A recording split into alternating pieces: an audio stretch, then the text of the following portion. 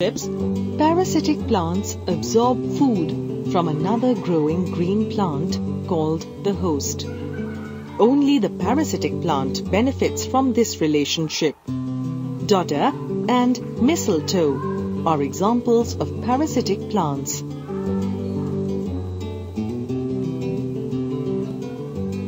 Saprophytic plants live off rotting material.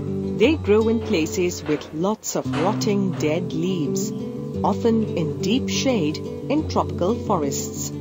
Indian pipe and coral root are examples of saprophytic plants. An insectivorous plant derives some or most of its nutrients by trapping and consuming insects. Pitcher plant and the Venus flytrap are examples of insectivorous plants. There are certain plants which live in association with other species and share their food resources. Both the types mutually gain from each other. Such plants are called symbiotic plants.